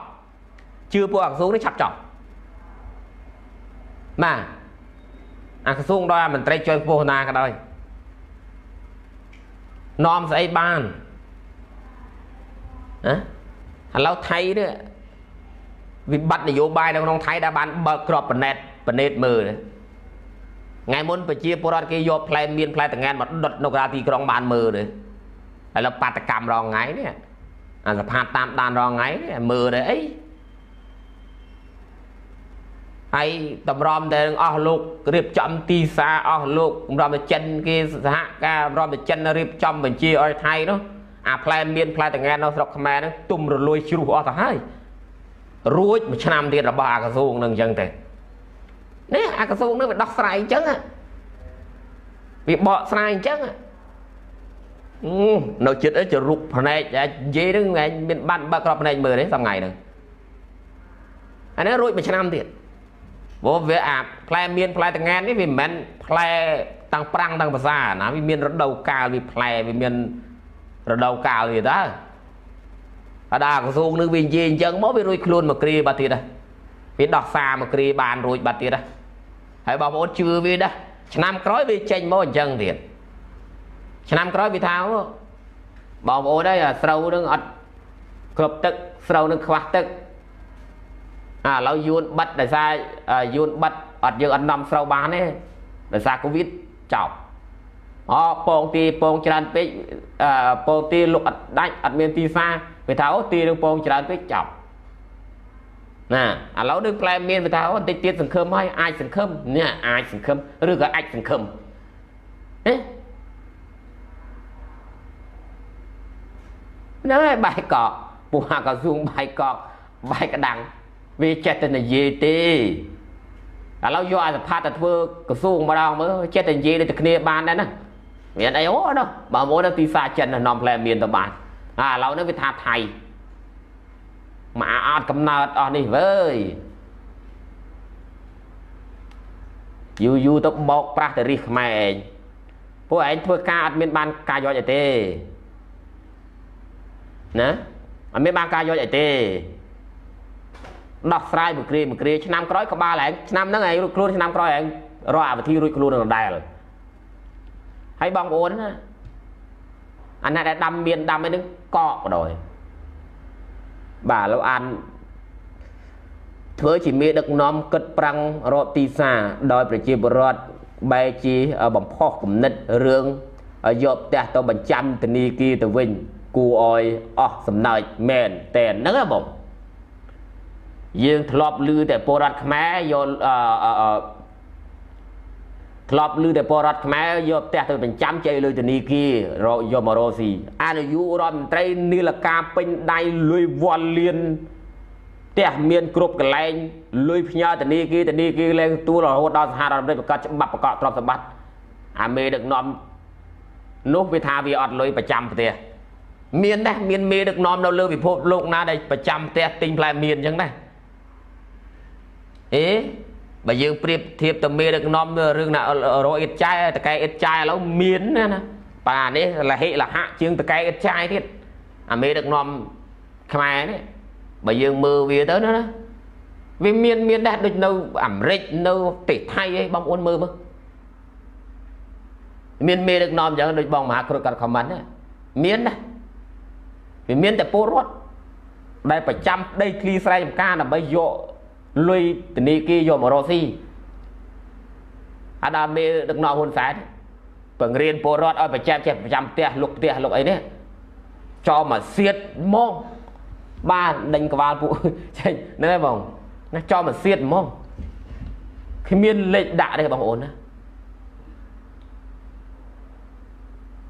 ខ្ញុំអត់ចង់ជេរទេប៉ុន្តែពេលខ្លះវាចំណុចខ្លះវាត្រមអត់បានដែរណាត្រមអត់បាន ប្រចាំផ្ទះហើយអាការយកលុយជួយយួន30ម៉ឺនដុល្លារមិនមិនលក់ផ្ទះចាំផ្ទះដែរទៅអាយកលុយទៅអោយអាមីងអងលៀងនៅខាងកើតនេះអាអាមីងអងលៀងនៅប្រទេសពួកអាផ្ដាច់ការពួកអាកុំនេះបាញ់សម្លាប់ប្រជាពលរដ្ឋខ្លួនឯងទាំងស្រស់ទាំងស្រស់សម្លាប់នេះយកលុយទៅជួយឃាតករបងប្អូនមើលអាហ្នឹងមិនមែនមនុស្សធម៌ទេណាកន្លែងនេះបងប្អូនទៅច្រឡំតែហ៊ុនសែនអូមនុស្សធម៌មនុស្សធម៌ចោលនេះយកលុយទៅឲ្យមីងអងលៀងដើម្បីបាញ់សម្លាប់ប្រជាពលរដ្ឋខ្លួនឯងគិតហ្នឹងមើល អូយយ៉ាប់វាហួសហេតុហ្មងអារឿងប្រចាំផ្ទះនេះបងប្អូនប្រកាសទិញមានលោកតាអភិបាលស្រុកខេត្តបៃលិន ច្រកដងហៅច្រកឡែមអូអញ្ចឹងណាដែល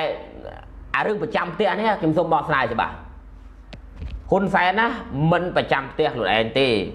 ពាក្យថាប្រចាំនេះបើប្រចាំប្រទេសលក់ប្រទេសឲ្យចិនលក់ប្រទេសឲ្យយួនជឿលក់ខេតឲ្យចិនលក់ខេតឲ្យយួនជឿបើរឿងប្រចាំផ្ទះហ៊ុនសែនអត់មានទេរឿងប្រចាំផ្ទះហ៊ុនសែនអត់មានទេហើយបើយកក្បាលប្រជាប្រដ្ឋខ្មែរ16លានអ្នកយកទៅប្រចាំដើម្បីខ្ចីលុយគេជឿបើឥឡូវហ្នឹងយើងឃើញយើងគិតមើល ប្រជាប្រដ្ឋខ្មែរ16លានអ្នកក្នុងម្នាក់ចម្ពាក់ជាងមកជាង1000ដុល្លារទៅហើយបើយើងអគិតអំពីបំណុលបរទេសដែលយើងចម្ពាក់គេបើយើងនិយាយអំពីបំណុលបរទេសដែលហ៊ុនសែនបានយកឈ្មោះប្រជាប្រដ្ឋខ្មែរយកពលរដ្ឋខ្មែរតាំងប្រសង់តាំងប្រសក់តាំងលោកតាំងស្ដេចតាំងអង្គព្រះមហាក្សត្រអីទាំងអស់នេះយកទៅឈ្មោះប្រជាពលរដ្ឋតាំង16លាននេះយកទៅចែកលុយបរទេសនេះ បើគិតក្នុងម្នាក់ម្នាក់ចម្ពាក់គេជាង1000ដុល្លារទៅហើយយើងមើលអាហ្នឹងហើយបាត់ប្រចាំពិតប្រកបអាការប្រចាំផ្ទះរបស់ហ៊ុនសែនណាហ៊ុនសែនបានតែនិយាយសន្យាការពីព្រៃព្រៃអស់លីងកាត់ក្បាលកាត់ជើងកាត់ដៃអាណាអាណីនោះព្រៃឈើមកដល់មកនេះអាលីសល់ប្រមាណ100សឡងសល់ប្រមាណហិតាព្រៃឈើយើងមើលយើងមើលឲ្យមែនទេ ប្រជាប្រដ្ឋខ្មែរពិចារណាទាំងអស់គ្នាការសន្យាការនិយាយរបស់ហ៊ុនសែន100ម៉ាត់គុំទៅជឿតែជឿមួយម៉ាត់ដាច់ខ្យល់ងាប់គ្រោះថ្នាក់មេដឹកនាំប្រភេទនេះវាមានទេមានមេដឹកនាំអាណាគឺទៅទៅប្រចាំផ្ទះប្រចាំសម្បែងទិញផ្លែមៀនទេវាមិនដែលមានណាហ៊ុនសែនចូលចិត្តណាពួកបាតដៃប្រឡាក់ឈាមបើបាននឹងបងខ្ញុំខ្ជិលនិយាយព្រោះវាហួសចិត្តហ្នឹងហើយបងវាហួសចិត្តប៉ុន្តែហួសចិត្តខ្ញុំខ្ញុំត្រង់អត់បានបង ខ្ញុំអូសព័ត៌មានមកឃើញអាក្រសួងមកថាអូបន្តិចទៀតបានសង្ឃឹមហើយយើងថៃជួយទិញថៃនាំចូលថៃបានមកពួកអាបោកបោកណាបានបោកក្បាលអាសផាតស្អែកជឿណាឯងមួយម៉ាត់ដែរស្អែកជឿណាឯងមួយថ្ងៃស្រាប់ខលោកឯងឲ្យប្រជាប្រដ្ឋបានដឹងទេណាអាក្រសួងនេះដើរស្រាតទៅតើអ្នកអាក្រសួងនេះបោកទៅតើអាក្រសួងនេះកុហកទៅព្រោះអានេះកុហកកុហកបានមួយគ្រាមួយគ្រាមួយឆ្នាំមួយឆ្នាំហ្នឹងមករដូវមករដូវហ្នឹង រដូវពងទីរដូវពងមន់រដូវផ្លែឈើរដូវស្វាយរដូវច្រូតរដូវកាត់ពួកហ្នឹងវាបោកចេញមកបោកទៅហេតុអីក៏ប្រជាប្រដ្ឋមិនដឹងខ្ញុំគាត់តែប្រកាសប្រាប់អញ្ចឹងខ្ញុំនៅនៅជំងឺទេណាអឺបងប្អូនត្រូវហ៎ត្រូវហ៎ត្រូវអាមេដឹកនាំត្រូវអត់ដែលដែលខ្ញុំប្រើភាសាថាចោលមកសៀតមេដឹកនាំចោលមកសៀតណាស់ពេលហ្នឹង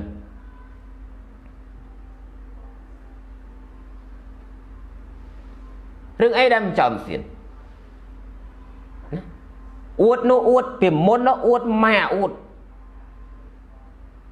អូលុយនោះនេះ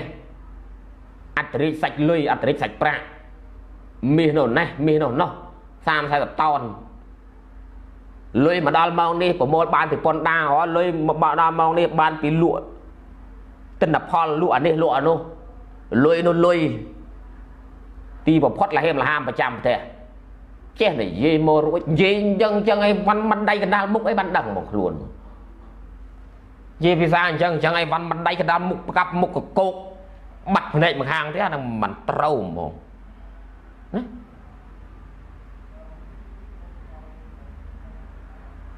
ចុះបើនិយាយអញ្ចឹងប្រហែលខែមុនអាណាជាអ្នកអួតអួតក្តែងក្តែងឡងឡងអូកំភៃសេដ្ឋកិច្ចកម្ពុជា មិនធ្លាក់ទេប្រមាណភាគរយប្រមាណភាគរយប្រមូលពន្ធដានលុយចូលណាពីប្រទេសពីប្រនេះពីនោះដល់ទីពិតស្វាសតអានេះមកប្រចាំផ្ទះ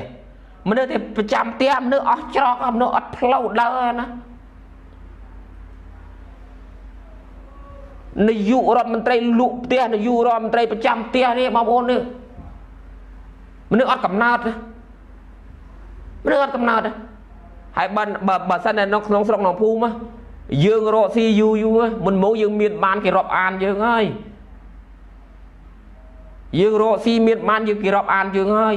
ដល់ទៅពេលយើងលាក់ខ្លួនក្រលាក់ខ្លួនប្រចាំផ្ទះលាក់ខ្លួនលុកផ្ទះអូគ្មានអាណាគេរាប់រទេអានឹងសង្គមខ្មែរយើងគឺអញ្ចឹងហ្មងបច្ចុប្បន្ននឹងបងប្អូននៅក្នុងស្រុកភូមិដឹងហើយសាកមើលបងប្អូនយកទៅចៃលុយធនីគី មករកស៊ីខាតមករកស៊ីខាតមករកស៊ីខាតបងមករកស៊ីលងចង់ដល់ថ្នាក់លក់ផ្ទះដល់ថ្នាក់ប្រចាំផ្ទះស្រួលតែអ្នកស្រុកណាភូមិនៅស្រុកភូមិនឹងគេរាប់រយយើងទៀតទេគេមកនិយាយរយយើងទៀតទេគេមករាប់អានយើងទៀតទេអត់ទេស្រុកភូមិខ្ញុំបោះនោះអត់ទេអត់មានទេ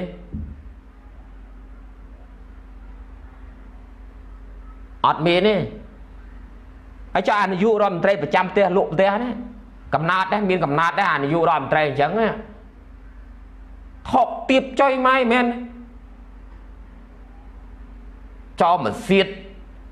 លក់ផ្ទះប្រចាំផ្ទះនេះបងប្អូនស្អីគេមានដឹកនាំស្អីហ្នឹង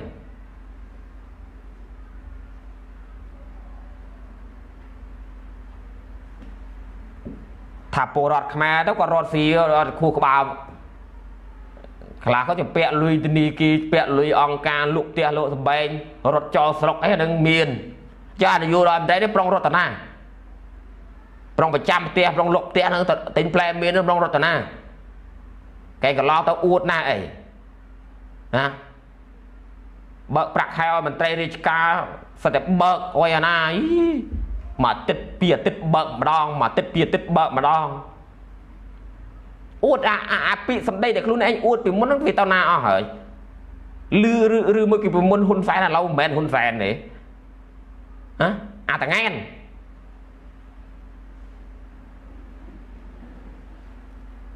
អាមេនឹងដល់តងែនអាតងែនអាតងែននោះឈួតនៅស្រុកណាគេប្រើពីអាតងែននេះអាតងែនអាតងែនេះអីទៅចិញ្ចឹងទៅអី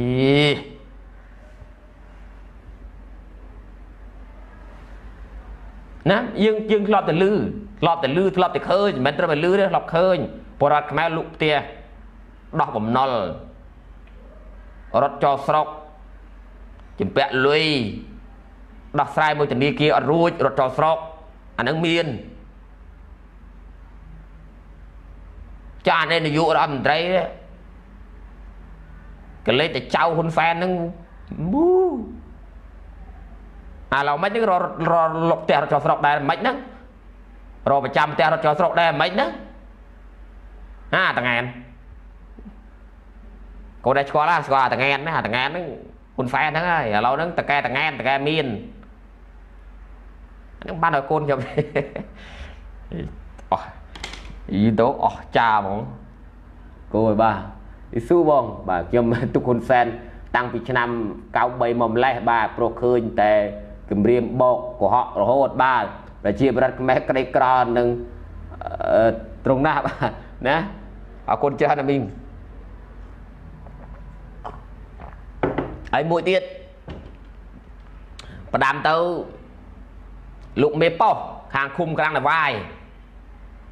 មេប៉ោះខាងឃុំក្រាំងនវាយមេភូមិខាងក្រុមឃុំក្រាំងនវាយដូចគ្នាមេឃុំខាងឃុំក្រាំងនវាយដូចគ្នា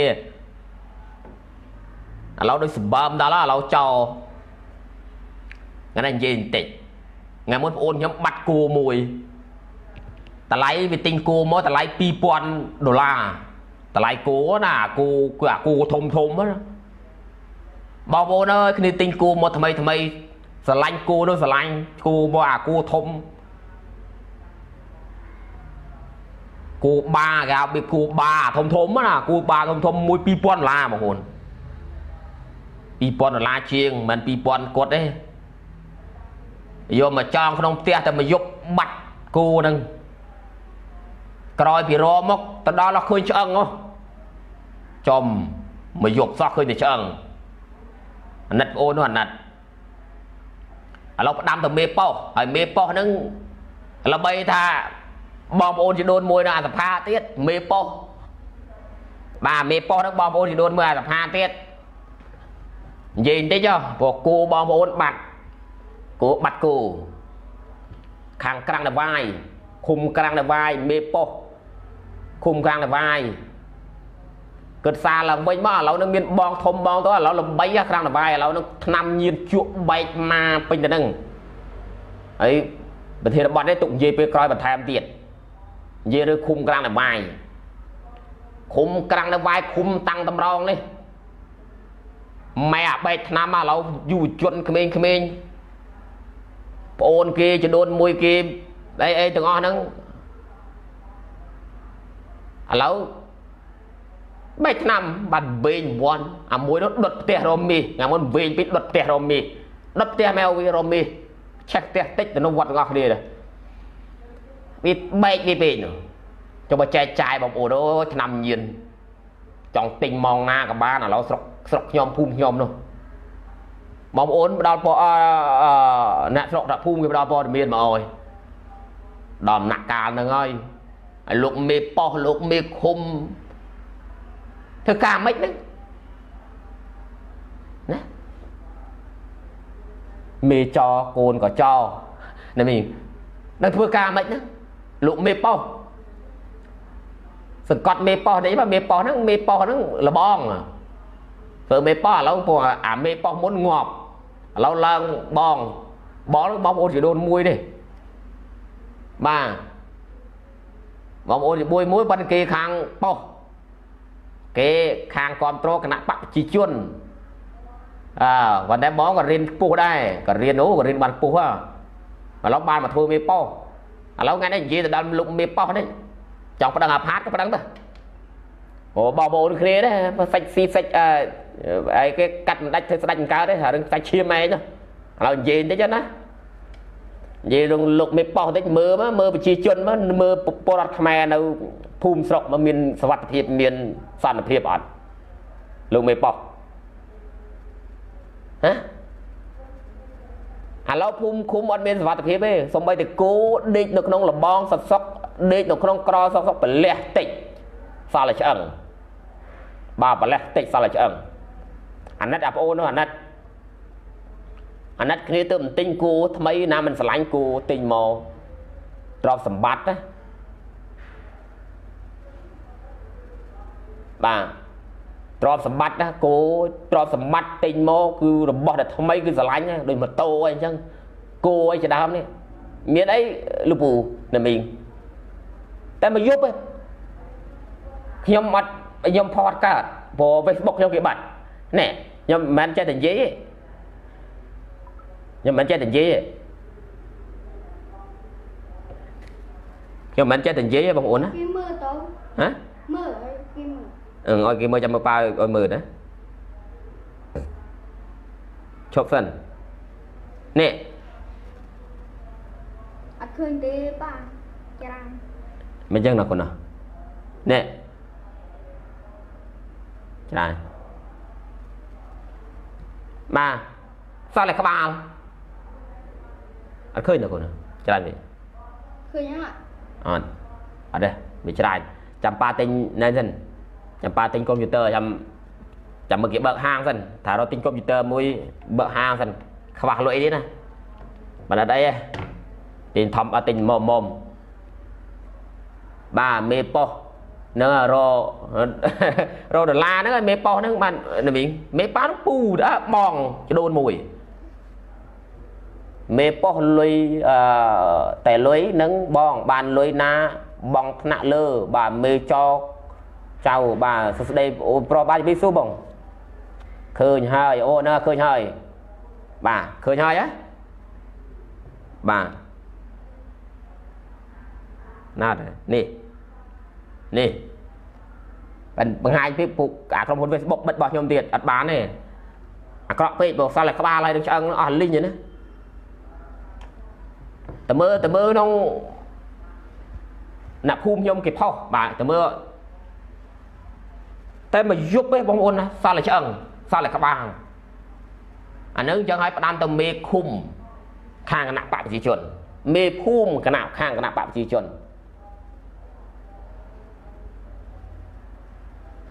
កាលពីមុនរករឿងអត្តផាដល់អាមេភូមិត្រុកក្របបែកហ្នឹងបាទមេភូមិត្រុកក្របបែកហ្នឹងអត់ចេញឈ្មោះទេរករឿងអត្តផាតហើយផ្ដាំទៅណាលោកមេប៉ុសទាំងអស់ហ្នឹងបើកបណេតបើកប្រភៈធ្វើកិច្ចការត្រឹមត្រូវបងបានថ្លៃជាមេប៉ុសមេឃុំមេភូមិហ្នឹងមានអីបងប្អូនណា តែមកយប់សល់តែឆ្អឹងសល់តែគ្រូងឆ្អឹងអាណិតប្អូននោះអាណិតបាទអាណិតប្អូននោះអាណិតគោគ្នាទិញមកទុកដើម្បីប្រើទុកដើម្បីធ្វើស្រែបាត់ហើយអញ្ចឹងក៏លេងបើលេងសួស្ដីអូនបានជំរាបសួរបងខ្សែជីវិតត្រូវដើរទៅមុខអើបើលេងតាមព្រៃតាមដុកតាមអីវិលស្រែអីមិនថាទេអានេះចងក្នុងផ្ទះណាលួចទាំងយប់ណា បាទចងទុកក្នុងផ្ទះព្រឹកឡើងបាត់យ៉ាស់ដល់រឃើញតែក្បាលនឹងគ្រូងឆ្អឹងអាសាច់សាច់ផ្លូវប្រវៈប្រលះយកអស់បាទសាច់សាច់ផ្លូវប្រលះយកអស់បាទសាច់ផ្លូវសាច់អីប្រលះសាច់សាច់ម្លោកសាច់អីនឹងប្រលះយកមកអាហ្នឹងអញ្ចឹងអញ្ចឹងហើយបាទថ្ងៃហ្នឹងផ្ដាំទៅលោកមេប៉ុសអី លោកមេប៉ុសលបងសុកឈ្មោះអឺណាមេប៉ុសឥឡូវឡើងមេប៉ុសថ្មីអាមេប៉ុសមុនងាប់ងាប់បាត់អាមេប៉ុសមុនហ្នឹងបាទខាងឃុំក្រាំងនវាយស្រុកនំស្រួចខេត្តកំពង់ស្ពឺឃុំក្រាំងនវាយឃុំតាំងតម្រងដូចគ្នាបាទ CVP អភិវឌ្ឍស្រុកខ្មែរយូរយូរទៅកាន់តែយូរទៅបាទកាន់តែយូរទៅយូរទៅហ្នឹងហើយអឺឃុំក្រាំងនវាយហើយនឹងឃុំតាំងតម្រងក្មេងៗបែកឆ្នាំខ្លាយជាចោលួចចោប្លន់ព្រោះស្រុកនោះស្រុកព្រៃហ៎បងប្អូនស្រុកខ្ញុំស្រុកព្រៃបាទព្រៃចោក៏ចោអាគ្រឿងញៀនក៏គ្រឿងញៀនបែកទៅហឹងអឹងអាប់នៅហ្នឹងបាទហើយ ចោរបៀបចោម៉ូតូក៏លួចគោក៏លួចបើគោលែងអត់បានទេអាគោធំធំបើគោតូចតូចគោខៅគូគូកដលគូក្រោលអីអត់សូវទេវាអត់សូវលួចទេបើលួចទៅវាចាប់ទៅវាអត់សូវចំណេញ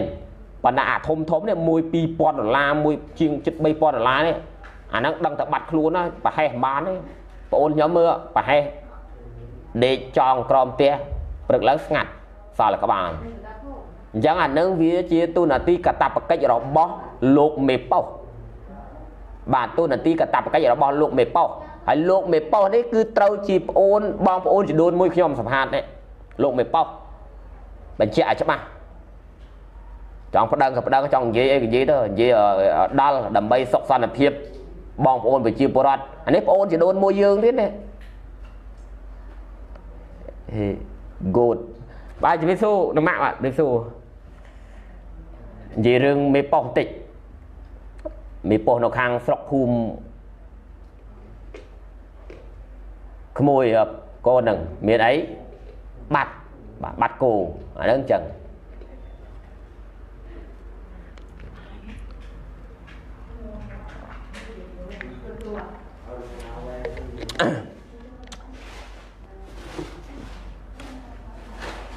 អាណិតបងអូនអាណិតលេងនិយាយហ្មង ហើយខ្ញុំក៏អាណិតបងអូនចង់យកមកផុសយកមកផុសអា Facebook វាបិទអីដល់ខណាត់ចុះគូបងអូនណាគូឃើញតែក្បាលឃើញតែឆ្អឹងវាអាក្រក់ឈាមអីមកយប់មកយប់នៅឈាមអញ្ចឹងយើងមើលកន្លែងហ្នឹងអញ្ចឹងហើយបានយ៉ាងថ្ងៃនេះមានឱកាសនិយាយទៅនិយាយទៅមេប៉ោះព្រោះមេប៉ោះហ្នឹងវាមិនមែនសាច់ឆ្ងាយពីខ្ញុំទេសាច់ជាមួយគ្នាតាជាមួយគ្នាឥឡូវគេបានធ្វើមេប៉ោះបាទមេប៉ោះឃុំក្រាំងនវាយមេប៉ោះដែរ បាទបាទមេប៉ោះនេះបើស្ថាតទៅទៅវិញបែបចាប់ឲ្យគណៈបកប្រជាជនណាមេប៉ោះណាអានេះគេថាអញ្ចឹងហើយយល់ច្បាប់អត់យល់ញាតទេណាបើដល់ច្បាប់កម្ពុជាច្បាប់ម៉ែវាប៉ុន្តែបើខ្ញុំទៅវិញបាហើយថ្ងៃមុនផ្ដាំផ្ញើតាមពុកខ្ញុំដែរអេពូបដៅលោកប្អូនតិចមើលគេហៅខ្ញុំលោកប្អូនណាបដៅលោកប្អូនមើលលោកប្អូនឡូវដូចខ្លាំងទៅខ្លាំងទៅអានៅថៃ រិះគន់សម្ដេចជេរសម្ដេចពុកក៏ខលមកខ្ញុំថាកូនអើយអឺអឺក្មួយមេប៉ោះគេផ្នាក់ផ្ដាំផ្ញើមកឲ្យកូនឯងនឹងប្រយ័ត្នប្រយែងកាត់បន្ថយទៅឈប់ជេរឈប់អីទៅរស់ស៊ីទៅអេខ្ញុំថារឿងរបស់ខ្ញុំលោកមេប៉ោះអីនៅតែមេប៉ោះហ្នឹងទៅខ្ញុំក៏ឆ្លើយទៅអញ្ចឹងបាទព្រោះគេបានធ្វើជាមេប៉ោះមានអីណាឥឡូវហ្នឹងបាទ ប៉ុន្តែមេប៉ោះហ្នឹងមើលផងមើលបងប្អូនយើងផងណាឥឡូវថ្ងៃមុនអាប្អូនហ្នឹងវាបាត់គោហ្នឹងមិនលោកមេប៉ោះរកឃើញទេហើយល្បីថាមេប៉ោះហ្នឹងអាមេអាមេចោអាចោហ្នឹងល្បីមានឡានមានអីទៀតណាបានមានខ្នងមានអីទៀតណាមកល្បីថាមានខ្នងមេអាចោដែលលួចគោបងប្អូនហ្នឹងណាបាទលួចគោហើយបញ្ជាក់ប៉ុណ្ណឹងទេមកយល់ហើយអញ្ចឹងបងសុផាតហ្នឹងហើយ បាទសុស្ដីសុផាតបាទជម្រាបសួរបងណានឹងថ្ងៃហ្នឹងប៉ុណ្ណឹងចុះបាទរឿងមេប៉ោះរឿងមេចោអីទាំងអស់ហ្នឹងរឿងអាតង៉ែតអាតង៉ែតមេតង៉ែតអីហ្នឹងច្រឡហើយបងប្អូនមិនបាច់ចាំខ្ញុំដាក់ឈ្មោះទៅអីទេអាតង៉ែតមេតង៉ែតហ្នឹងណាគេ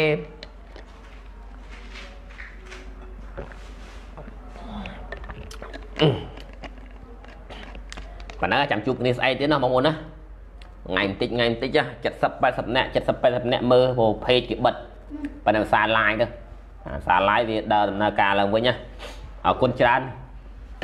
បាទជាចុងក្រោយខ្ញុំកណាខ្ញុំបាទជីមសុផាសូមក្រាបថ្វាយបង្គំលានិងជម្រាបលាបងប្អូនជូនពរបងប្អូនមានសុខភាពល្អសំណាងល្អការពារ COVID-19 បងប្អូនគ្នាណាបងប្អូនណាហើយថ្ងៃនេះ COVID ប្រមាណហ្នឹងថ្ងៃនេះណានៅថៃទេបាទតង៉ែនហ្នឹងហើយ យេស៊ូអូនសុផាបាទយេស៊ូបងខ្ញុំបញ្ចប់ការ live ហើយបងនេះថាមករកមើលថ្ងៃបន្តិចបើមើលកូវីដនៅថៃតិចអូកូវីដនៅថៃអូប្រាស់ចេះម្ចាស់ថ្លៃហ្នឹងច្រើនមែនតើ21នេះថ្ងៃទី21